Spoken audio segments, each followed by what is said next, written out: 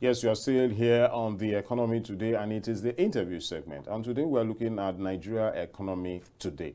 Uh, I'm sure you very know that the Nigeria economy today is actually on the downturn. Though there are uh, some people who are saying investment level is high now, you know, some people are making money even in this downturn, but generally people are really suffering and a lot of things are happening. Inflation is rising, a lot of things are happening. The unemployment rate is also at, on the rise. The level at which people are heading into the poverty circle is also on the rise. So I have with me today a data analyst, uh, somebody who knows how to give us uh, the real gist into that field uh, and will tell us the truth about what is actually happening and how the solutions can be profiled by the government. I have with me Mark and say you're welcome. Yes, thank you very much. It's always a pleasure being here. Yeah. So, uh, Macdonald, uh, first of all, uh, you would agree with me that the Nigerian economy is um, is tipsy topsy. It, it has been like tipsy topsy, tipsy topsy, and then all of it topsy it tipped to a particular angle. And now we are heading towards where inflation is rising be between 23.8 or something percentage that is if they are true with that uh, statistical 24, 24 to now 24 yeah you know to according to the mbs you yes. understand? And it is still going up but I'm, I'm not even sure about that statistics because i see the poverty out there. People okay now let me use this analogy. If you look through our gutter that's our waterway systems within lagos you find out that you don't see people throwing away remainder of food food uh, you know, somebody just uh, ate remaining food and then threw it to the god. It doesn't happen anymore. Yes. There was a time you used to see loaf of bread swallowing and you see fat, you know, rats everywhere. eating and every everywhere. They are, the rats are always running. You, you, can just be walking and a rat as big as a cat runs past you and say, wow, God, what is this? But that seems not to be happening anymore. Why are we in that circle at the moment? Okay, thank you very much. Well, before I delve into that, for the sake of crystallization, let me take us a bit back on the economy itself. Mm. First, we should understand what the economy entails as a word. This refers to a region or a state in terms of its production and consumption of goods and services, and also the supply of money. Now, if you want to know the state of the economy today, ask yourself, are we producing or are we consuming? Mm. Mm what is the nature of the supply of money? Hmm. Because in a nutshell, economy entails it's, it's, it is a social domain that emphasizes on the practices of production, use, management of scarce resources. So we, you should ask yourself, how are we managing our scarce resources? Now, once we throw all these questions on the table, you find out that Nigeria even as a product, as a producing country, what is the volume of our production in relation to our consumption? Is mm. it adequate? If it is not adequate, trust me, we will have this state we are in right now is the state we are going to be in. Mm. The unemployment percentage, according to the National Bureau of Statistics, if I'm not mistaken, is 33%. Inflation is about 24.08%. Mm. Even as of June 2023, when the World Bank released its statement, it said about 89, it estimated 89.3 million Nigerians are living Be below the poverty, poverty line, line as of the beginning of this year, January. But after the first quarter, it moved about 4 million Nigerians joined that. Hmm it became 93.8 as of May mm. this year, mm. statistically speaking. It's a public domain, so you can verify the accuracy of the information. So this, this boils down to the question of where did we go wrong or what is wrong? Generally, in the Persian rule of finance, it states that the wealth of a state greatly depends on the welfare of its citizens. Great. True, true, true. Now, you ask yourself, the citizens, which class is the majority? You get to find out that it is the lower class, let me use that word if I may, the lower class, those, those, the, the minimum, the minimum wage earners, the minimum wage income earners, yes. Are Those there, are there people who see, say minimum, minimum, or we have micro? No, this is a state. So the official minimum wage, as stated by the government, is what we use as a yardstick. There can be other minimum wages there and there, but the official one is what we use for the metrics. Now, um, you see, yeah, you stated it so fine, uh, you know, and anybody could actually understand that, uh, you know, level. Nigeria is not. You said Nigeria seems looks like a producing nation, you know, maybe because we we uh, uh, we bring out crude oil. But again, the issue is that uh, we do not refine our crude oil. We don't sell finished products. And so sometimes uh, it's not even working. And then we have to now export it and then import back, uh, buying it and uh, uh, spending a lot of uh, dollar in that uh, process. So how can we do to revive our production appetite and reduce our consumption appetite? I mean, what is it that the NBS is saying? Because uh, I find NBS is just the ones who tell us the trouble. They don't give us the solution. Yes, well, most times the solution lies with the people itself. The NBS will give their metrics and statistics. They mm. have the resources to run their investigations. Mm. But then it is left to us that is being affected. The rulers and the ruled. It is left to them, us rather, to collectively fix the issue. Because according to the philosophy of social contracts, the rule, the ruled gives up his rights to furthermore the protection of his rights by the rulers. What am I trying to say in a nutshell? Uh, because that's confusing. Yes, the citizens adhere to laws of the land so that the laws of the land will protect them. In a nutshell, we adhere to everything stated to us by the government so as to get protection, implementation of our human rights, and other necessary things the government can provide for the people. Hmm. Things like social amenities, water, those are their rights. So now, when we when we come to Nigeria now, you look at the rulers and you look at the ruled.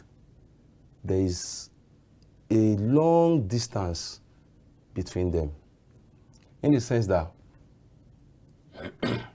Nigeria is about the last the last census that was used because they said we're about 160 million. Mm-hmm. The 200 million is just approximation. There is no factual data about it. So, but let's approximate 200 million. When you take out 98 million people from 200 million, you have a 100 and just roughly 102. That's if we are using 200 million, but we are not using 200 million. So now, if the major part of the Nigerian population is living below the line of poverty, there is no way the system, the country, the economy rather, will be in a progressive state. All we'll have is the same inflation we are having, the unemployment we are having, the rising, the rising prices in commodities, foodstuff here and there. Those living from day to, those living daily from hand to mouth are finding it really hard to feed, because most times they spend all their income on daily just to meet their daily needs. Thereby, you see there is no room for saving. I, I want to ask you a question now. Uh, someone once says that uh, both politics and the economy mix. You know, when you have politics, you always have the economy. When you have the economy, you also have politics because one moves one. So, um, is it that we are wrong with our politics? You know, our polity. You know, trying to you know do political policies because I've heard a lot of uh, policies uh, rigged out there by the federal government uh, to find a way to mitigate against uh, some of these things. Some of them sound so credibly nice in the ear, but uh, the implementation seems to be Listen, so where is the problem there? Where exactly is the problem? Well, politics and economy, they always go in the same sentence. You can't separate them because it is about statesmanship, the states. Hmm, statesmanship. Yes. So, in my opinion, the government needs to immediately respond to the needs of the citizens. Now, how do I think they can do that? Place economic reforms. Now, let me go back to what you said. You said there are some policies that sounds um, nice, but then it's not working. Okay, Sorry, I have to stop you. Okay. I will have to stop you. We'll go for a very short break now uh, because I've just been informed to go for this a short break and we'll be right back to continue with our guest.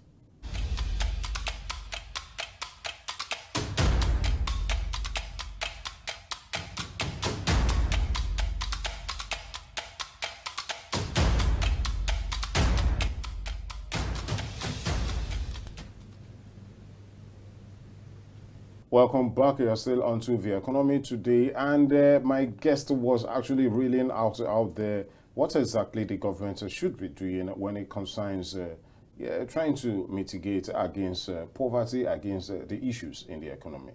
So you were saying, Yeah, I was saying they need to really, really place immediate and comprehensive policies that will favor the citizens.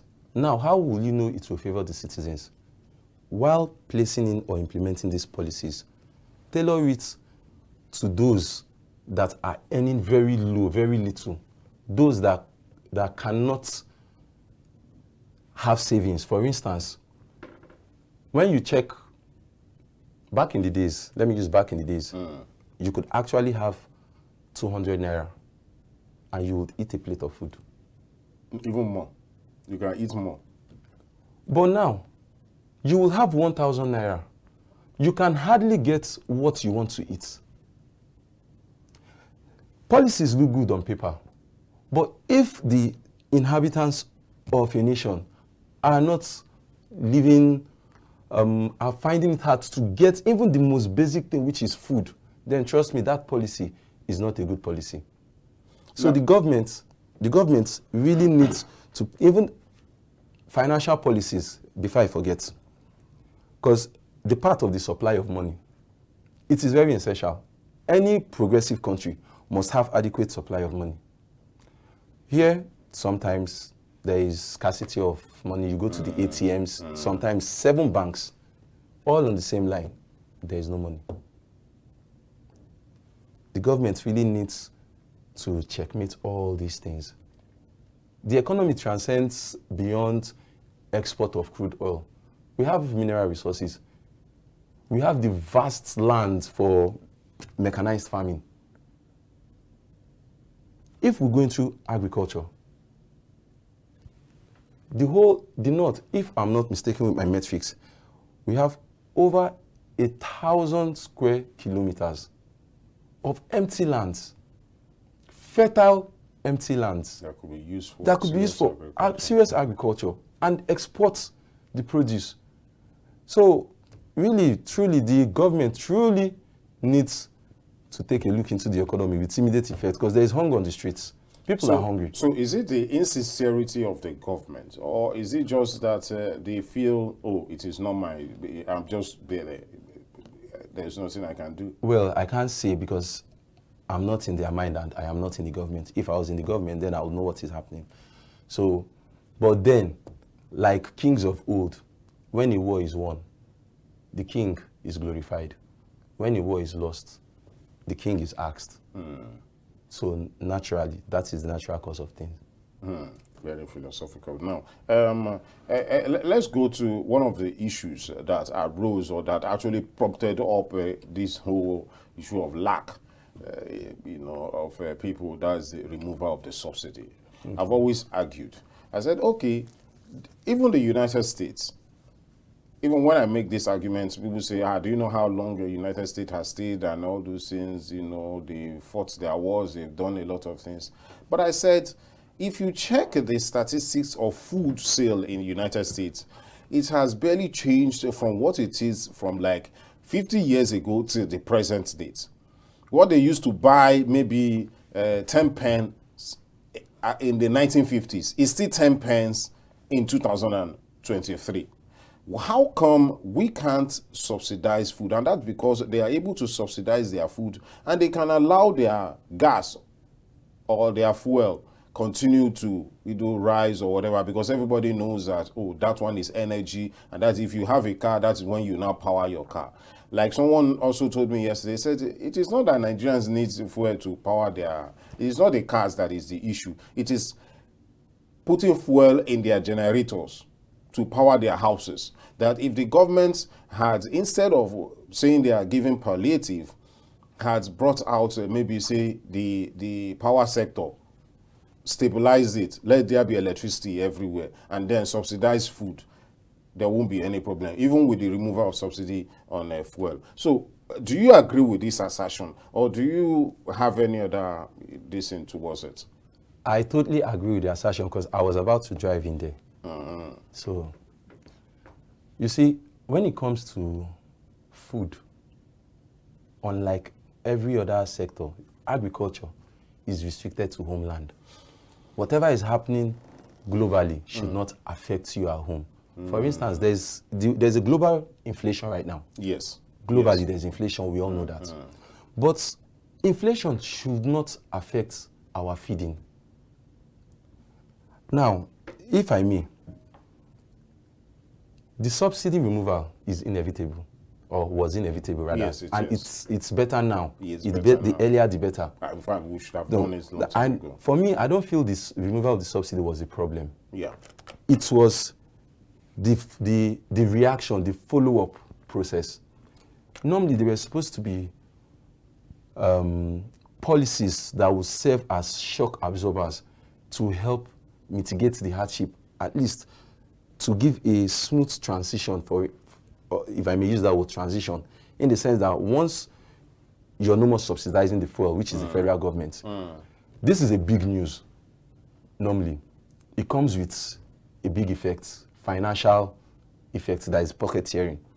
Definitely, they were supposed to ha- have a plan, a cushion to, um, sorry, a plan to cushion the effects. But to the best of our knowledge, there was, there seems to be, anyway, maybe the plan is in action. Let me put it that way, there's plans in action. But whatever the case may be, the issue of food is not supposed to be affected by the rising cost, even the, weak, the weakening of the naira is not supposed to be affected by it. We have our farmers are here. The government can even um, probably roll out some loans for farmers, farming loans, for instance. When you give um, farmers loans, state per state. For instance, these monies, there were some monies that were being shared per state. If I'm not mistaken, I think five billion. The uh, I heard a governor was talking about buying rice and all that. But then, if you buy rice, yes, it's a good thing, and you share rice.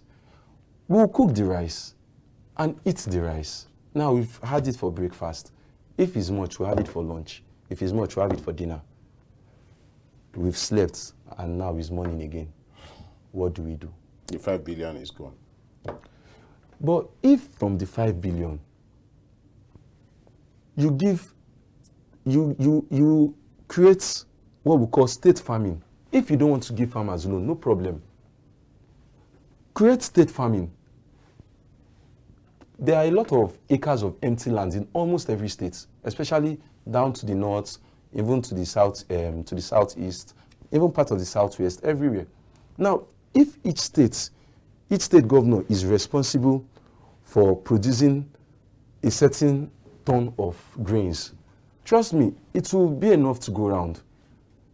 At least we will mitigate the hunger while we are still working to grow. Uh, somebody would argue that, okay, now you use the word responsible enough. And uh, some persons would argue that, um, okay, most government offices, most government parasites, uh, you know, operate ambiguous offices. A lot of staffs, a lot of just people who are just sitting around, people who are not doing anything. I mean, a job that one person can do, about uh, 50 people are actually signed up to do that job. At the end of the day, a lot of money is gone into it because uh, um, a, a, a, cousin of mine last year did tell me that, oh, who works in the federal government, with the federal government on agriculture said, oh, we have not even gotten our salary for the past three months.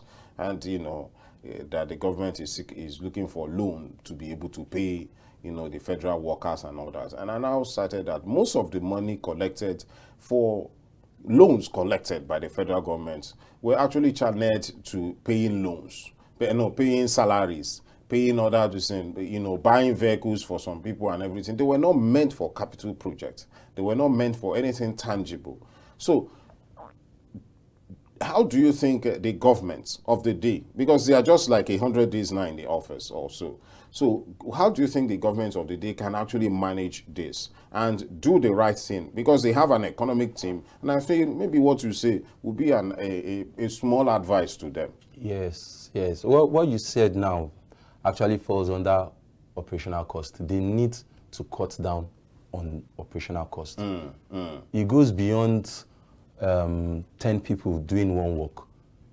They need to cut down on the government operational costs, both the vacations of officials, both every, the cost of running the government is, I won't say is much or small because I don't know how to run a government. I've never run a government. But given that we are in a country or a state that is going through economic hardship in quotes, for instance, I'll use um, during the pandemic as an example. During the pandemic, did anybody really travel? Nobody. There was a global lockdown, so everybody, everybody was, everybody was at home wherever they were, and nothing still happened. In the sense that what I'm trying to say is, the cost of vacations and other frivolities can be cut down, so as to make the common man feel that yes, the leaders are also sharing in the hardship. Normally, we need to see some um, emotions per se, let me use that word, because between the ruled and the ruled, it is a relationship. So, it's a relationship.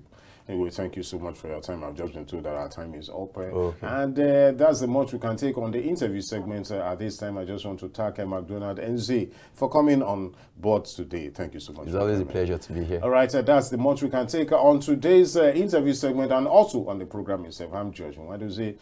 I'll see you some other time.